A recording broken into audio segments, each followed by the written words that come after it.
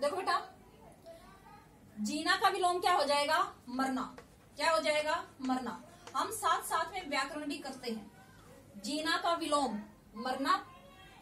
यहाँ सूत्र का अर्थ क्या था? धागा। यहाँ सुगंध, सो प्लस में गंध। अभी आपके उसमें प्रत्यय नहीं आए हैं, उपसर्ग प्रत्यय आएँगे तो सु। आपको अलग तो करना आता है ना? देखो, सु बिल्कुल अलग दिखाई दे रहा। सु प्लस में गंध। तो सुगंध क्या होता है? महक। उसका विलोम करेंगे तो क्या हो जाएगा? दुर्गंध। दुर प्लस में गंध।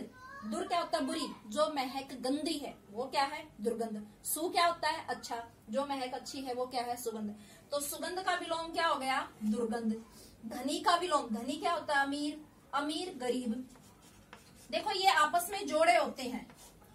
जीवन, मरण, जीना, मरना जन्म, मृत्यु। इस तरह से आप जन्म का मरना नहीं लिख सकते। ये जोड़े होते हैं विलोम के तो धनी का विलोम आप गरीब नहीं कर सकते। धनी का निर्धन होगा, अमीर का गरीब होगा। अमीर का गरीब। इस तरह से जोड़े होते हैं ये हमेशा। याद रखना कि कहीं धनी आए और आप गरीब लिख दो। नहीं। धनी निर्धन, अमीर गरीब, जीना, मरना, जीवन, मृत्यु। ठीक है? अब गले हार। हार के दो अर्थ मैंने क्या बताए? एक पराजय और दूसरा गले में पहने जाने वाला हार। सुगंध का विलोम क्या हो गया? दुर्गंध। यहाँ काटा किसका प्रतीक है? दुख का। कांटा हमेशा कहीं भी आ जाए वो किसका प्रतीक होता है? दुख का होता है। और फूल जो है सुख का होता है। इसके साथ साथ इस कविता में और भी काफ़ी सारे क्वेश्चन बन सकते हैं। जैसे फूलों का प्रयोग कहाँ कहाँ किया जाता है? बच्चों सोच कर बताओ कि फूल का प्रयोग हम कहाँ कहाँ करते हैं। फूल का प्रयोग हम घर को सजाने के लिए स्वयं को सजाने के लिए किसी के आ, कोई महापुरुष या कोई आपका नेता अभिनेता मरता है तो हम उसके शव पर डालने के लिए, भगवान को चढ़ाने के लिए, राजाओं के ताज में बहुत जगह जो है हम फूलों का प्रयोग करते हैं।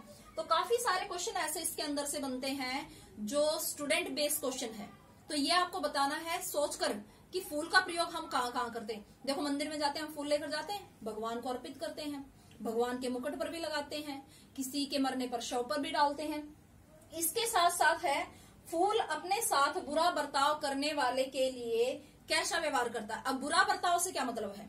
हम उसको कुचलेंगे रगड़ेंगे। उसके साथ साथ हम क्या करेंगे? हम फूलों की अच्छे से देखभाल नहीं करेंगे, उनको अच्छी मिट्टी नहीं देंगे, खाद नहीं देंगे, पानी नहीं डालेंगे तो क्या होगा? अगर हम फूल को कुचलते हैं, फेंकते हैं तो उसकी महक हमें नहीं मिलेगी। उसके साथ साथ अगर हम फूलों में पानी नहीं डालते हैं, समय पर उसमें खाद नहीं डालते हैं तो आपके घर में फूल उगेगा ही नहीं। फूलों को देखकर एक एनर्जी हमारे अंदर आती है, एक मुस्कुराहट हमारे चेहरे पर आती है, एक उत्साह हमारे अंदर बढ़ता है। फूल जो है, मुरझाए हुए मन को भी जो है, तरंगित कर देता है। एक जो है, हमारे अंदर उत्साह का, उमंग का जो है, भाव भर देता है। तो अगर हम उनके साथ अच्छा व्यवहार नहीं करेंगे तो वो क्या है, अपनी महक और सुगंध हमें नहीं देंगे, हमारे आँगन में नहीं पनपेंगे, वहाँ पैदा नहीं होंगे। इसके साथ साथ फूलों के और भी बहुत सारे फ़ायदे हैं। आप जो है जड़ी बूटियों में भी फूलों का प्रयोग करते हो। बहुत सारी ऐसी आपकी बीमारियाँ हैं जो फूलों से ठीक हो जाती हैं। आयुर्वेद में बहुत सारी चीज़ें जो है बताई गई है।